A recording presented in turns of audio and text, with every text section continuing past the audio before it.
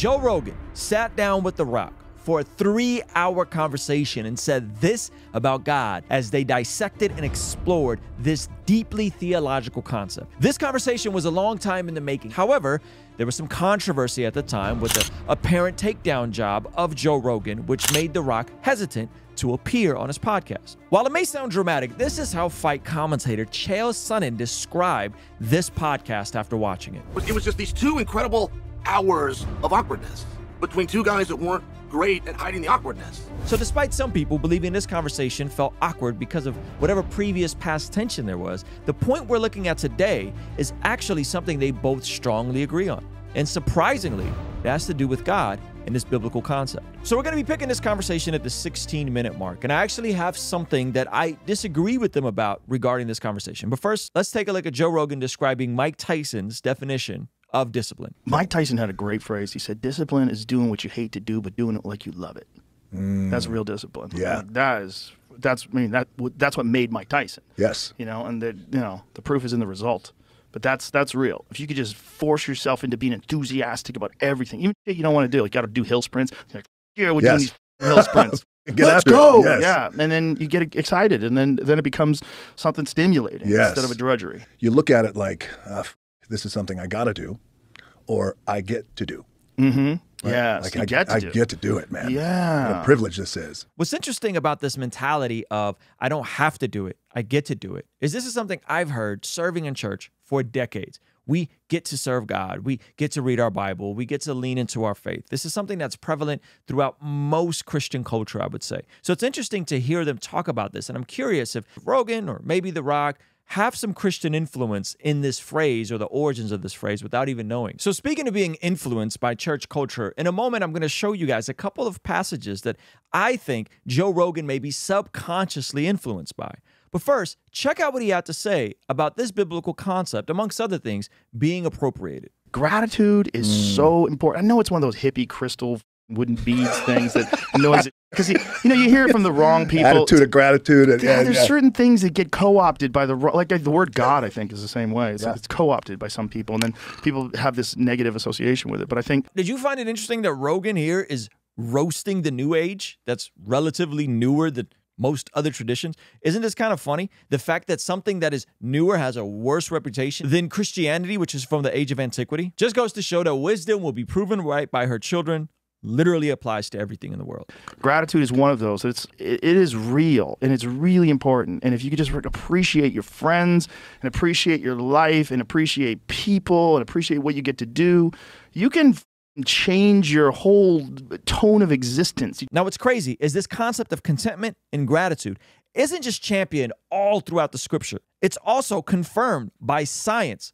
And we're going to be looking at a Harvard study in just a moment. But first, let's look at two different passages from the Bible that may be indirectly influencing some of what The Rock and Joe Rogan are saying with regards to this concept of gratitude and contentment. The first one is in Philippians chapter 4. Many people know that verse 13, they have it tatted. I even think Jon Jones has this verse tatted on him. I can do all things through Christ who strengthens me. Super popular verse. What most people don't know is that this verse is actually in context of gratitude and contentment. Check it out. All we got to do is just scroll back a couple verses, and you see the Apostle Paul writing the church in Philippi, and he says, But I rejoiced in the Lord greatly that now at least your care for me has flourished again, though you surely did care, but you lacked opportunity. So Paul's going through it. He's saying that the church in Philippi has now the opportunity to actually care for him by meeting some of his needs. He says, though, in verse 11, Not that I speak in regard to need, for I have learned in whatever state I am to be content. And there that is contentment, learning to be content. Paul was extremely content in this situation. In verse 12, he goes on to tell us, I know how to be abased.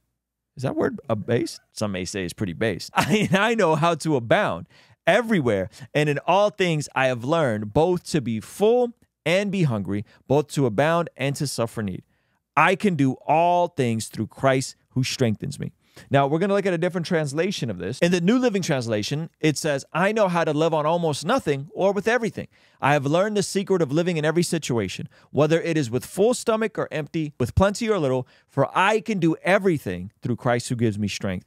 Even so, you have done well to share with me in my present difficulty. So, Paul is driving home the point that the way he's able to do all things through Christ who strengthens him is being anchored in contentment. This is also echoed when he writes in 1 Timothy chapter 6 verse 6, godliness with contentment is great gain. The pathway to flourishing is through the door of contentment. The pathway to you and I having breakthrough is first learning to be content with whatever situation we're in and whatever season we're going through, to first learn to be grateful for it. And the incredible part about this is we can look at scripture after scripture after scripture about this exact concept, but it's also confirmed with science. A recent study from Harvard Health Publishing confirms that giving thanks can make you happier. This article goes on to say that the word gratitude is derived from the Latin word gratia, which means grace, graciousness, or gratefulness, depending on the context. So even the actual concept of gratitude seems like it's connected to the Latin context of grace. And what is grace? Grace is salvation. Grace is what Jesus has done for us. Grace is what's extended to us even while we were far gone. Gratitude is a thankful appreciation for what an individual receives, whether tangible or intangible. With gratitude, people acknowledge the goodness in their lives. In the process, people usually recognize that the source of that goodness lies at least partially outside of themselves. As a result, being grateful also helps people connect to something larger than themselves as individuals, whether to other people, nature, or a higher power. Now, this part is interesting. It says in positive psychology research, gratitude is strongly and consistently associated with greater happiness. Gratitude helps people feel more positive emotions, relish good experience, improve their health, deal with adversity, and build strong relationships. Now, I'll link this study below, but here's a bit of research on gratitude. One group wrote about the things they were grateful for that had occurred during their week. A second group wrote about daily irritations or things that displeased them. And a third wrote about events that had affected them, with no emphasis on them being positive or negative. After 10 weeks, those who wrote about gratitude were more optimistic and felt better about their lives. Surprisingly, they also exercised more and had fewer visits to physicians than those who focused on sources of aggravation. And it's interesting that this 10 week study encouraged people to write down things they were grateful for, which is exactly what we start with in our prayer journal. This is the exact way I've been able to develop the consistent discipline of praying regularly. And the very first prompt in our prayer journal is what are things you're thankful to God for and what are things you're grateful for, right? And the more you sit down, you write down these things, the more you're able to focus on the things you do have and not the things you don't have. The areas you should be content and grateful for and not the areas of irritation. Now, there's one thing I do disagree with that they said in this video, which is the initial quote of Mike Tyson discipline is doing the things you hate, but doing them as if you love them. Here's how I would say my perspective is different. The more we do the things we hate, the more we learn to love them. This is the beautiful part about the gospel, which is Jesus living the life we couldn't live, dying the death we should have died in our place on the cross for our sins, and then rising on a third day. Why? To give us new hearts and new desires. That the things that I used to once hate, like reading the Bible, like praying, like going to church, all of a sudden now I love. And the things that I used to love, like sin and sexual immorality, all of a sudden I hate. That's the good news, friends, that God steps into human history and does something supernatural for us.